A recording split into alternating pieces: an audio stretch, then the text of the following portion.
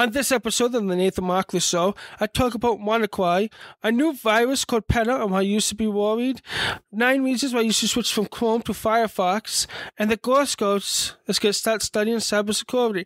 All that and more coming up.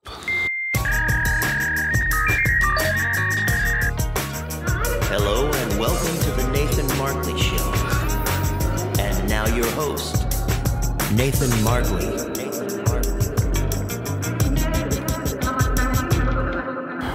Well, hello everyone, and welcome to another episode of the Nathan Markley Show. I'm Nathan Markley, your host, and today let's get right to some technology news.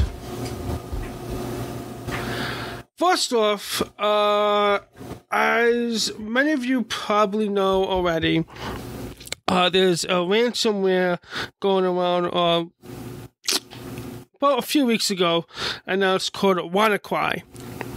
And WannaCry, I think I mentioned this. Maybe I mentioned it in a different episode on another podcast. WannaCry is ransomware. And what ransomware is, as I mentioned episode 40 in Internet Safety, is malware, a virus that gets on your computer and, and it encrypts all your files.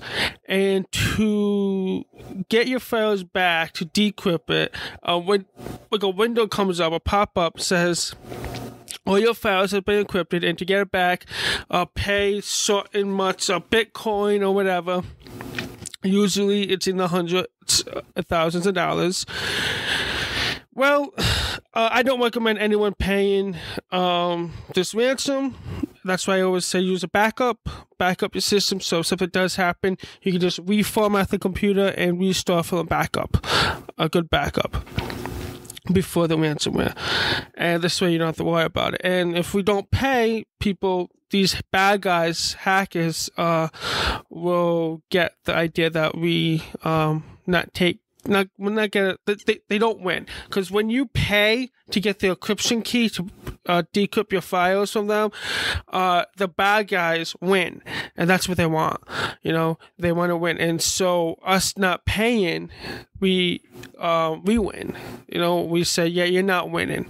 Anyway so it was WannaCry uh, is a form of ransomware that got leaked by WikiLeaks, and it's made by the NSA.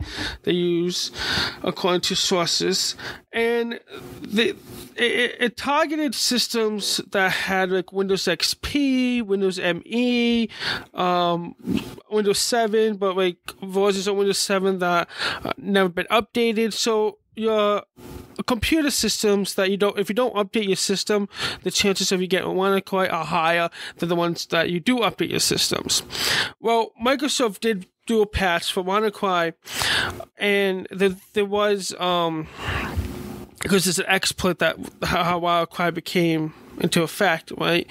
So it, microsoft fixed the, the, the exploit but many systems haven't uh, upgraded their systems because uh, there's actually a lot of like a lot of healthcare systems that still run at Windows XP because of the downtime and how much money it would cost to uh, upgrade it to Windows 7 or Windows 10. Like for instance, so uh, WannaCry was fixed, but like a lot of countries like in another country or down south uh, got hit with WannaCry. And we thought WannaCry was dead. But according to hackernews.com, uh, they got reports that WannaCry is not dead. And WannaCry actually hit a well-known uh, car manufacturer, uh, Honda. Honda has a computer systems that are running on. Let's see if we can get what operating system is. I want to say it's XP because that's a well-known. A lot of companies use. And see Honda. So Honda got one request to stop production after the computer crashed, and they realized they got it. And oh, I'm going to read a little blurb from Hacker News. That this link will be in the show notes, as always. So, Honda Motor Company released a statement uh, last week saying the company was forced to halt its production for more than 24 hours at one of its Japan based factories after finding a WannaCry infection on its computer network. Now, that, that businesses, like, your computers are networked together. So if one computer gets WannaCry, chances of all your computers are getting it are very high because they're networked. So what WannaCry does is it encrypts one file computer, uh, one computer files, and then it goes to the next one. And if you have network files, like network drives, it goes to those, and it's just a, a domino effect. So again, that's why I said back up everything.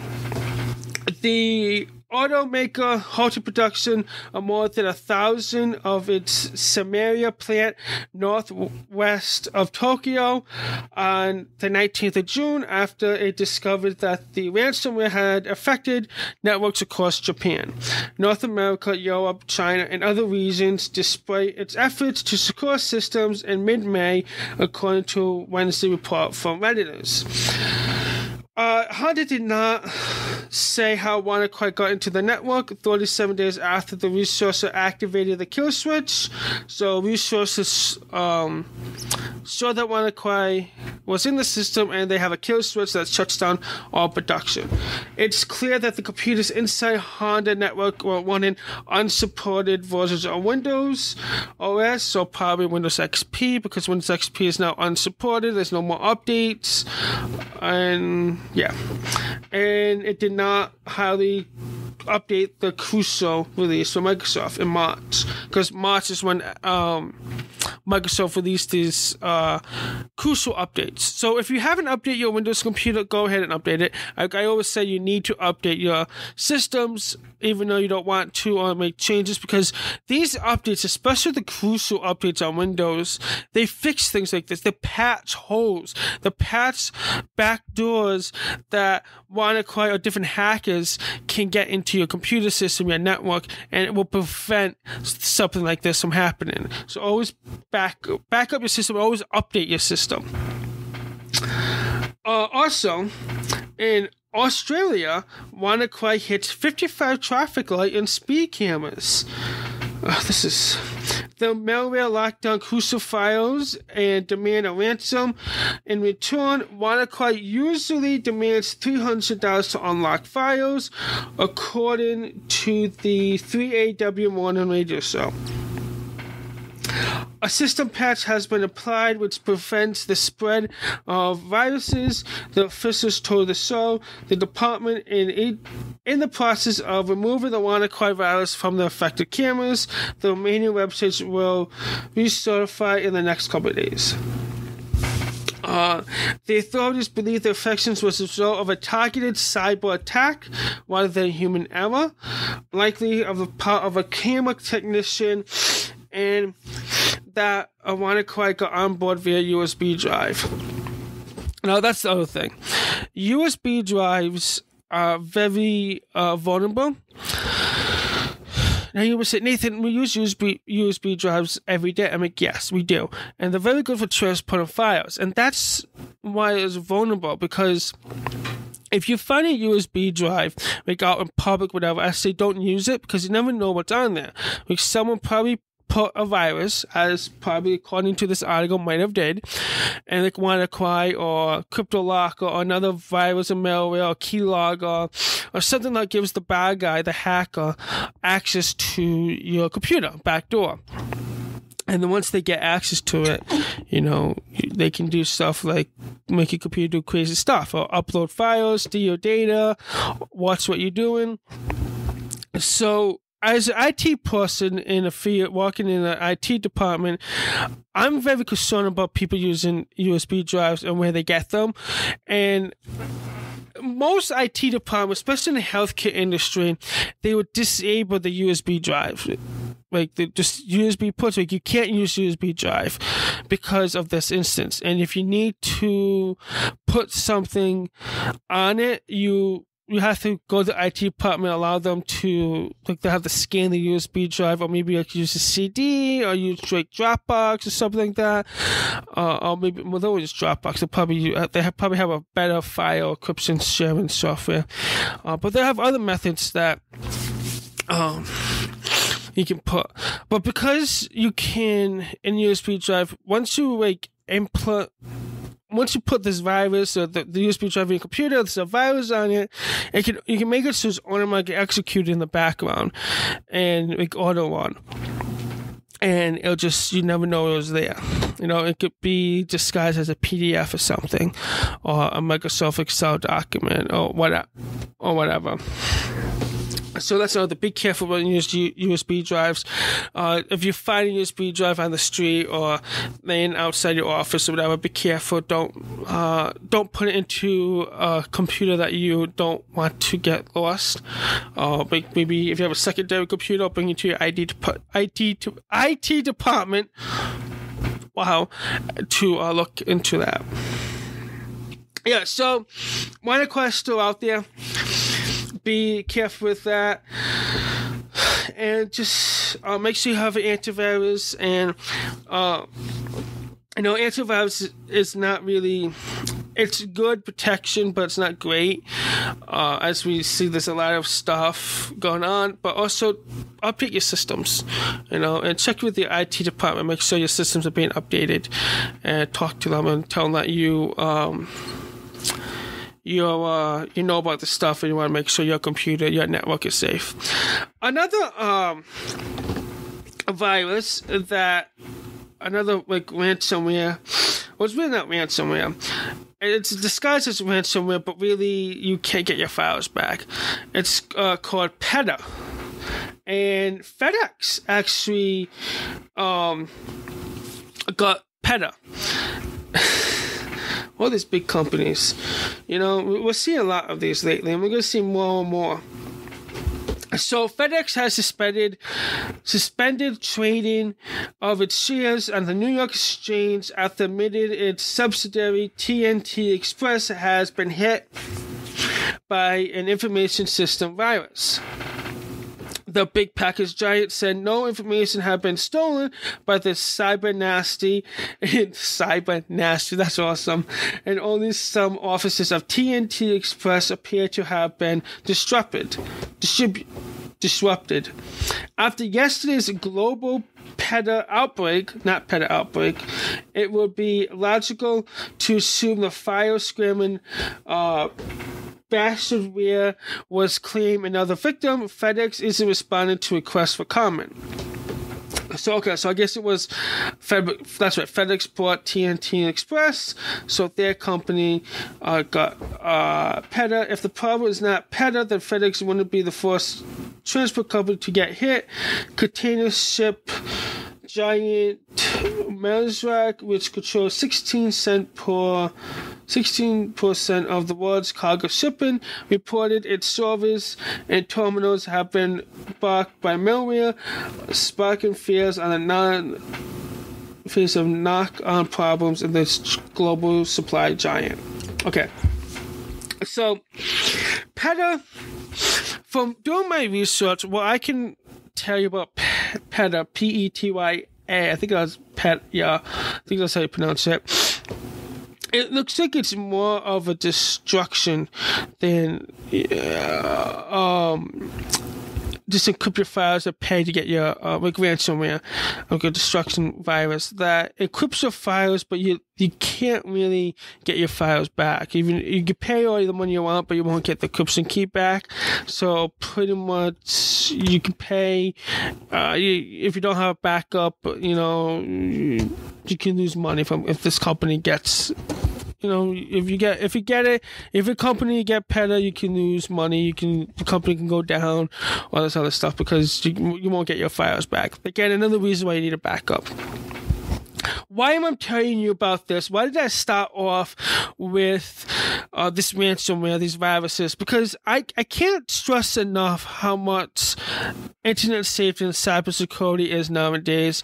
And really, I want to educate you guys on this so you guys know what's going on, you know what to watch for and look for, and. I, and it's very interesting. You know, not just I don't want to scare you because, it, like I said, the internet is a a fun place to be. You know, but there is bad stuff going on. It's just the internet's like being on the streets if you're in New York City, if it's in, if you're in Providence, if you're in Chicago, if you're in L.A., you know, it, it, it's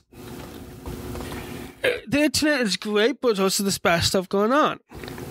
You know, we have tradings, you have illegal stuff, illegal stuff, activity going on, but what I want to get at is to educate you guys what's going on, know what you look for, and also just be careful and back up your systems. Back up so you do get a virus and you do get this ransomware or any ransomware that you, you, you don't care uh, the files because you have a backup. You can just reformat the computer and just use the backup from the previous month or whatever before you got the ransomware. Also, do get an antivirus. Get a good one. Don't get McAfee or um, Norton or Symantec. Get something like uh, Bitdefender or um, Webroot or VIPRE. The reason I say don't get McAfee or Norton because McAfee and Norton is very, very heavy program. It has a lot of stuff. It uses a lot of computer resources, and I've seen computers, new computers that have Norton or McAfee that just slow down. And once I remove Norton or McAfee and put like Webroot or Bitdefender or VIPRE on it, the computers sped up faster, you know. And I don't like the way it is. You know, it, it is politics, but I mean, I've seen because I've seen new computers, brand new computers, a two days old, a week old. That's like my computer is slow. What's going on? I'm like, well, you have Norton on there, or you have McAfee on there. Let's remove that and put like uh, Windows Essentials, uh, because when Microsoft came out with antivirus, Windows Essentials, uh, I think it's called something different now, uh, Security Essentials or whatever, and it's really good. Or put Webroot if you want to pay for it, or VIPRE, or Bitdefender even Bitdefender is getting heavy, but still. Uh, oh, ESET, uh, NOD32 is a good one, and it sped up the computer. Your computer's faster, so you don't need that memory hog stuff. But yeah, so again, very important. Uh, speaking of cybersecurity, uh, this is pretty cool. That I saw the Girl Scouts is going to have um, cybersecurity badges. So I think that's pretty good. So Girl Scouts are going to start studying cybersecurity, and they can earn badges on it. And so, as you know, Scouts is best known for the cookies.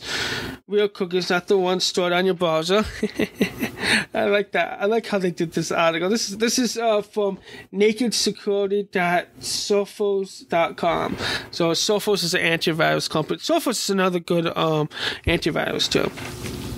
So the Girl Scouts will soon be able to add another badge to the ones that are already on for skills ranging from first aid to storytelling, uh, a badge for cybersecurity skills, according to CNN Tech. According to the Girl Scouts CEO, the badges came from the girls themselves.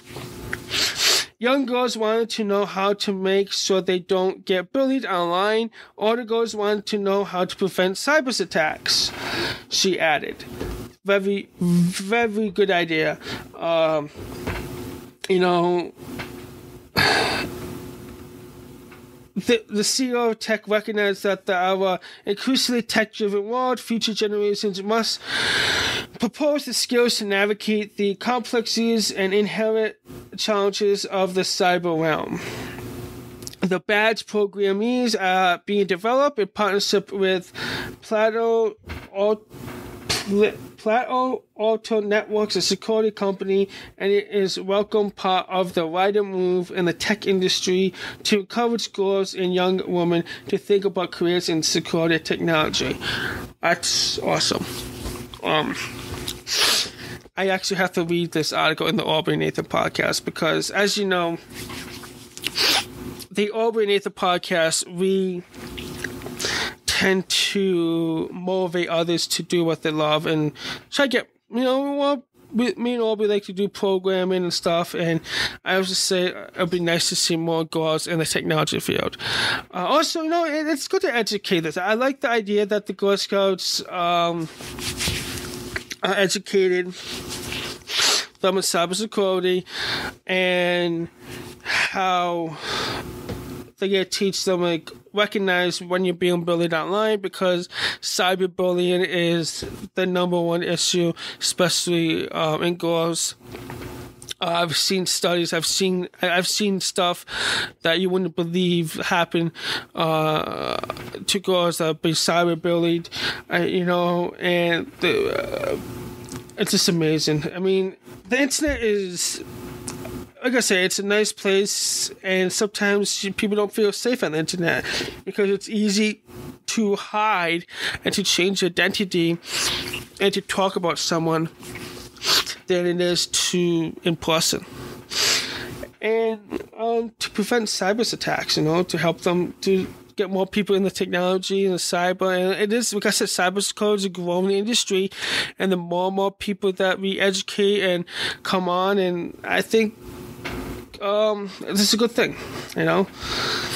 Uh, if the course coach of Rhode Island want someone to help them teach the classes, you should contact me because I am Rhode Island's tech geek, and this is my major, and this is something I really love, cybersecurity. So I'll be more than happy to help you guys out. So if anyone knows uh, a way to get contact with Girl Scouts Rhode Island. I probably have contact too because my sister, my mom was in Girl Scouts. But uh, I'd be more than happy to help you guys out, even to help with the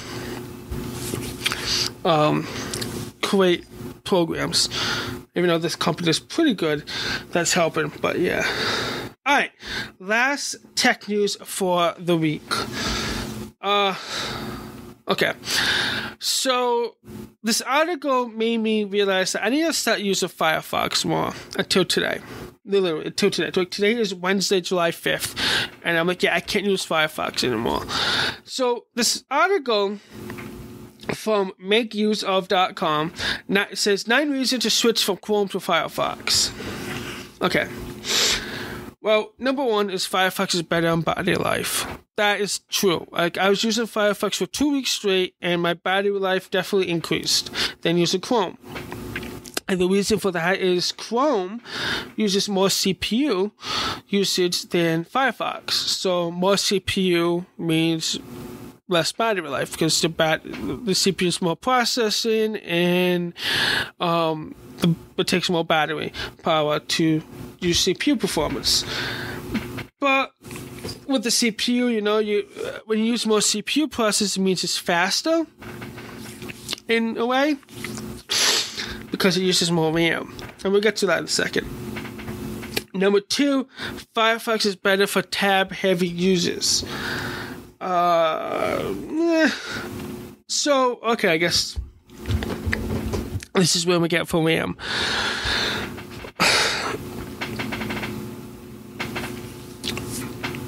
How can I? So, Chrome uses less RAM than Firefox when you don't have many tabs open. And Firefox scales much better than Chrome once you reach about eight tabs or so. Now, if you're a power user like me, like you have like 20 plus tabs open, Firefox wins. And that that is true, you know. Because uh, I noticed when I was doing research, I had about 10 tabs open and I was using about 437 megabytes of RAM.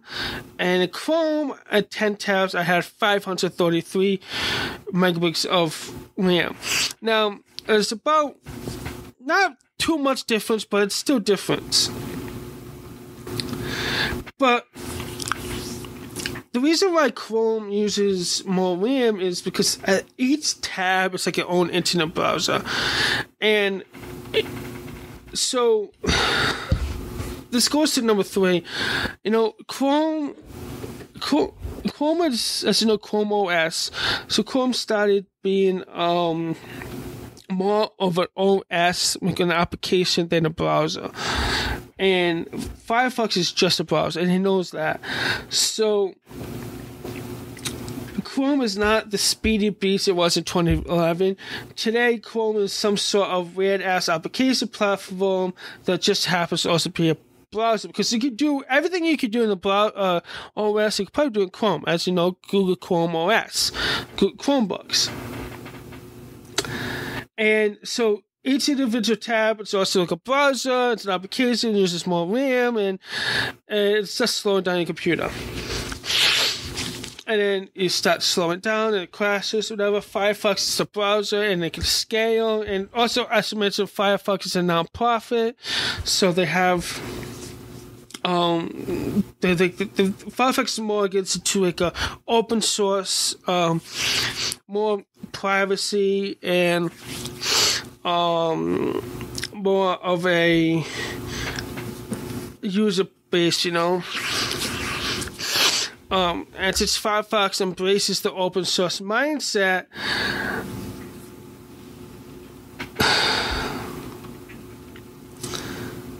it's like a complete. Uh, they have the public roadmap, you know, so they they influence on contributors and community members to help them make Chrome better and fix issues and bugs, and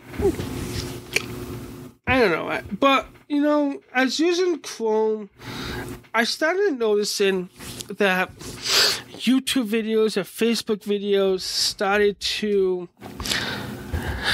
have audio sync issues, meaning the video will stop playing, but the audio will continue to play. And I just got fed up with it, and I switched back to Chrome, and I can uh, Chrome, yes, Chrome is faster in tabs and loading stuff and videos, but when it comes to watching videos, even Netflix, Chrome is better. So give it a shot. Just I want to. Pretty much why I mentioned this is I want to tell you about Firefox, you know, and there's some interesting reasons why you should use Firefox. I do have Firefox still on my MacBook Pro, and I do like it. I like how Firefox has this um, privacy thing. They have a new podcast. I think it's called. I don't know. Let me see if I can find. I don't remember the name of the the um, Firefox podcast, but it's um it, talks about privacy and security issues and the big for net neutrality and the support net neutrality. But also, you know, Chrome isn't. It is Chrome is based off of the Chromium project, but I think Google uh, Google treats it as a closed product, so it's more their own instead of an open source. And I think that's where it got stuck. You know, the, the Google made Chrome into an OS than a browser, and it's heavy, and it's starting to be heavy, and people are noticing it. And I don't know until until the video issues have work out Firefox, and I'm gonna wait to Firefox and see if we can figure this out. Maybe there's something on my computer.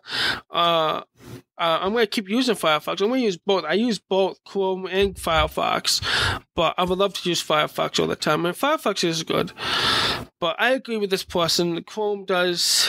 It's not what it used to be, and yeah, it definitely needs to be fixed. You know, the good thing too is um, Firefox does support Chrome extensions. So starting with what was it, Firefox 48, uh, Mozilla declared stable support for web extensions, and web extension is a cross-browser API that allows developers to create extensions once and have them work in multiple browsers. With web extensions, Firefox can install Chrome extensions. So if you need extension that you had in Chrome and you use the Firefox now, you can do that now. Uh, but I think people are starting to make extensions for Firefox too. I do see more and more people with Firefox. And Firefox can do it Chrome Firefox can do what Chrome can mostly. Yeah. Uh, you know, and it's a browser. You know, they're both, and there isn't this the difference between Firefox and Chrome is minor, as this person says. One might be slightly faster and use less battery, but in terms of usability, they're both excellent. I agree. You know, like I, I've noticed, like the only issue I had with Firefox this past week or two weeks is that um, video YouTube video, Facebook video, Netflix, Amazon. I have audio sync issue in Firefox, I don't have that in Chrome. And I can't tell if it's memory. I don't know why would it be memory. I mean, I have 16 gigs of in here, and I think I have 16. I'll put this up 16 gigs. Yeah, I have 16 gigs of memory, and so I have plenty. But lately, ever since I use Firefox, the videos audio sync issues is terrible. You know, you with both of them, you have um, you can synchronize the tabs, the bookmarks, and profiles across all your devices in both Chrome and Firefox. So, and when it comes down to it, it's more personal choice. If you're a developer, Chrome is better because Chrome has a develop a better developer console than Firefox, and I've used Firefox Developer Console. I've used it to check out websites and develop stuff and to play around with it. And I found that it's very hard to use and hard to get to the Chrome. But yeah, what do you guys think? Do you use Chrome? Do you use Firefox? Do you use another browser? Don't tell me you use IE because if you uh, if you use IE or Microsoft Edge, get off there. Download Chrome or Firefox. Actually, download Firefox. But yeah, tell me what you uh, guys use and what you think of Firefox or Chrome. I'd love to know what you guys uh, think about it. Also, I would like let's have a discussion. Let's have a conversation uh, in the chat of the NathanMarkleyShow.com or Facebook, or use the hashtag hashtag the Nathan Markley Show on Twitter, and let me know what you think of Firefox and Chrome and what you use. So let's have a conversation about it.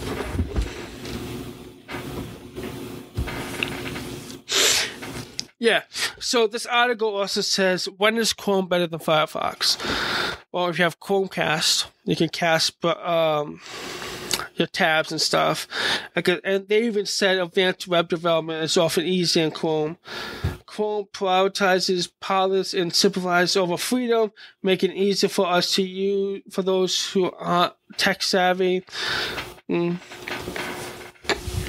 I'm gonna leave this link in the show notes because it says when are you ready to make the switch, and there's different stuff to talk about about that.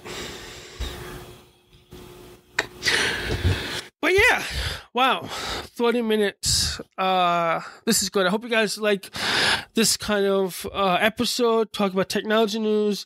Uh, I do want to mention that this episode of the Nathan Markley Show was brought to you by Patreon.com. Well, actually, it's brought to you by all the patrons of Patreon.com. And if you want to support the podcast, you too can become a patron. All you have to do is visit Patreon.com slash the Nathan Markley Show and uh, you can become a patron as little as two dollars a month. That's a good cup of coffee, and if you can live without one day a month without getting a cup of coffee, pledge uh, support become a patron for the $2 a month and you get access to all Patreon content, weekly and monthly updates. You get to connect with other patrons and we get to, you know, I might give you updates. I might give you, uh, polls. You know, you guys will help me, you guys will help me become, make the podcast into something more because uh, I do want to build the podcast. I do want to make this into a podcast network and I want to have fun with it. You know, so visit patreon.com slash the Nathan Markley. So, um, I mean, there's, um, for $3 a month, uh, or more, it's, I, you know, I will follow you, the Nathan Markley, at the Nathan Markley Show. So, social media follow, I put as the tier. So, from all my social media accounts from the Nathan Markley Show, I will follow you. Plus, you get all the lower tiers. Uh, for five dollars a month, you get behind the scenes live stream. So as I'm recording the podcast, you get to watch me record and help me uh, chat with me in the chat room as I'm recording, so you get to know what's going on and listen to the podcast and pretty much help me uh, build that next episode of the podcast each time. For ten dollars a month, you get to join my team. You get access to my Google Docs show notes. You help can help me uh, find content about each episode, collaborate collaborate with uh, on the Google Docs sheet, and of course, um, you get to watch the live stream. So, ten dollars a month, you get access. You can see what I have to talk about, what other people want me to talk about. Of course, I have the final say of what I'm going to talk about this episode or not. But pretty much, if you want me to talk about something, I'll talk about it. It has to be technology news because right now the Nathan Markley show is all about technology, and might be about my life too, but technology stuff. And for twenty dollars a month, your name is in the credits. I will actually say your name at the end of the episode, each episode. So if I have twenty people who at the twenty dollar level, I'll say your name at the end of the credits of the episode. So I'll say, um, thank you to whoever, and I'll list your name. So that's twenty dollars a month. So go check it out. Patreon.com slash the Nathan Markley Show. And I mean, there's different goals. So each time we reach a goal, uh, more stuff gets to happen in the podcast. Like the n- number one goal is $500 a month. With $500 a month, I'm able to keep going on the podcast. I will help pay for audio f- hosting files, help pay for website hosting. I use Libsyn for the host of my podcast. Also, I do plan on taking this one day a week podcast to three days a week. So the more people support this podcast and support me creating the Nathan Markley Show, I will be able to do one day instead of one day a week, do three days a week, and I oh, it'll open up like doing three days a week will open up opportunities like I talk more about technology news. Uh, so you don't you don't have to wait in the middle of the week for technology news, which may be a week old news. It'll be like couple days old. Also, I can have guests on. I can bring experts in the field to have deeper conversation about certain topics that you guys want me to talk about. And we talk about World Wide Web. And eventually, like I said, I'm going to create a podcast network. I can add, create more shows into the Nathan Markley Show podcast network because that's my ultimate plan is I want to create a podcast network. I want to have fun with the Nathan Markley Show, but I can't do it uh, without you guys' help. Um, and for you guys to help me to support the podcast, Patreon is a great and awesome platform for it. And even if you can't, um, support me in Patreon just by listening to the show and having a conversation with me, leaving a review on Apple Podcasts, rating, telling your friends and family about the show uh, is uh, a great support too. I mean, I don't want you guys to give the podcast money. I don't want you to support the podcast if you can't. So if you don't have the money to support it, don't feel hesitant to support it. Don't give money if you can't. Um, just listen to the podcast. This you by listening, you by downloading my show is more than enough support for me. But this Patreon is a way for me to reach out to those who can and who want to support more than just listening and sharing the podcast. I hope you guys understand that. So yeah, so if you want to become a patron today, visit patreon.com slash the Nathan Markley Show. Okay, that's um, enough talk about advertising for the show. And uh, you guys probably an- annoyed with me because I know I don't like when people do that. But I mean, I am an independent creator. All right, guys uh, that would do it. Thank you again for watch, uh, watching. Thank you again for listening to the Nathan Markley Show. Hope you enjoyed this episode. I will talk to you all next week. Hopefully, some of you will be in the live stream or helping me with the Google Docs. And until then, peace, good night, let bed bugs bite. Bye, guys.